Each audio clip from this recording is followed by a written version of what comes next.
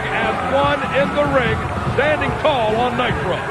And what a great feeling that has to be for everyone associated with the World Championship Wrestling Organization. Scott, you know it as well as I. All week long, it's, been like a celebration in the offices in Atlanta, Georgia of WCW. Employees high-fiving each other. They know that there's a man in charge, a voice of reason. Yes, Sting is in control. No more Ric Flair look at your format. Do you see anything about Brian Knobbs coming out here, or Jimmy Hart, or that trophy, or any of this? Of That's course Fit not. Finlay trophy, for Pete's sake.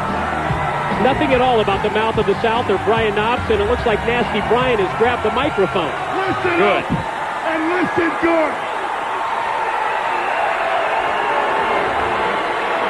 First of all, at the bash at the beach, the first Junkyard Invitational, Fit Finlay, how in that warped little puny Irish mind of yours do you think because you jumped over a fence and ran away, you are the hardcore champion.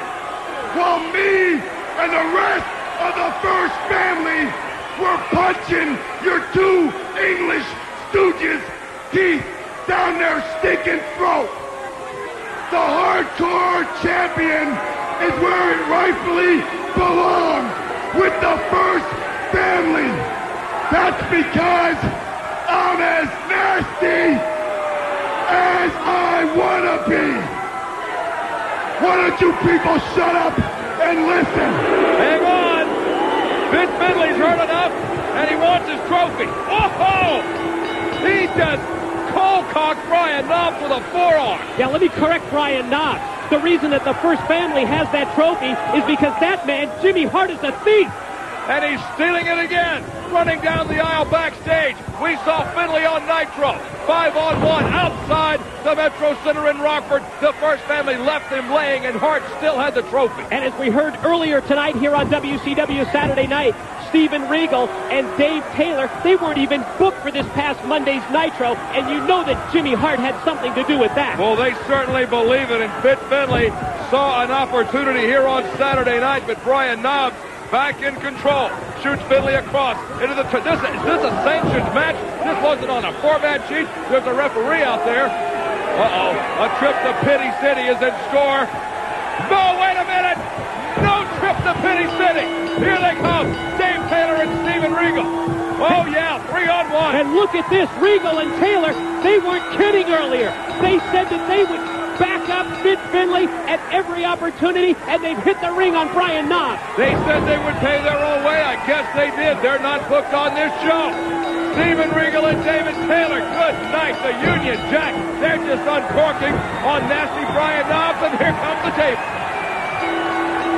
Finlay. Fit Finlay's got the table from underneath the ring.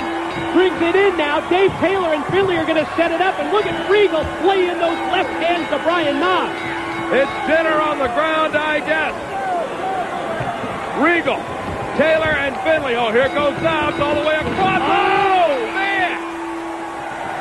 Call a carpenter. That table has had it.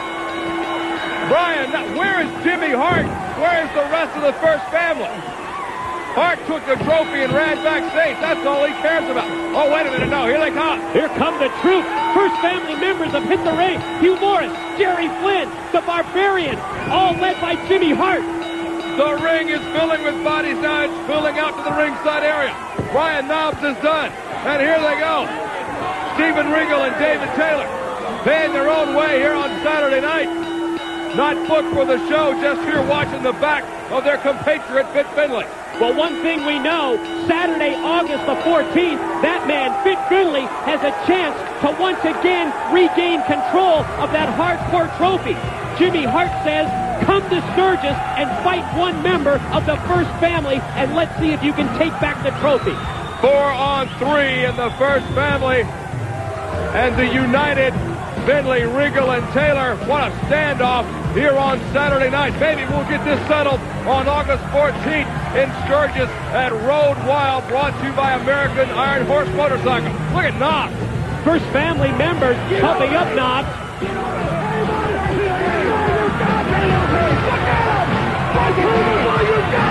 Oh, Brian Knobbs is knocked loopy, and the first family is angry. Hang on, we'll see Savage and Rodman next.